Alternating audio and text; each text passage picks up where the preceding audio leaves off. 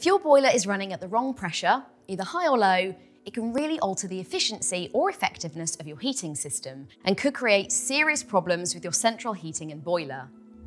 The ideal boiler pressure should be between 1 to 1.5 bars on your pressure gauge when your heating is switched off, and can rise to around 2 bar when your heating is on. If your boiler is reading anything outside of this range, then you may need to repressurise your boiler.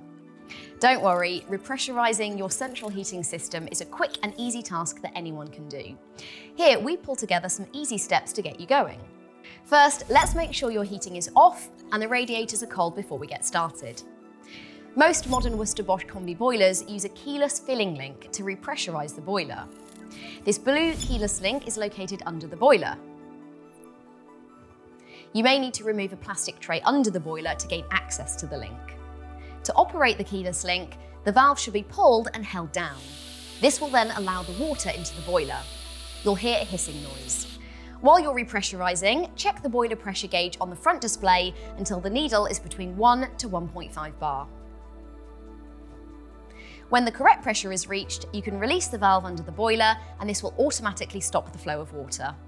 Don't forget to replace the tray back under the boiler and you're all done. Now let's turn your central heating on, check the water pressure and carefully check if the radiators are now heating up evenly. Simple as that. If you're having trouble repressurising or are having to repressurise more than twice a year, then there might be something wrong with your boiler or system.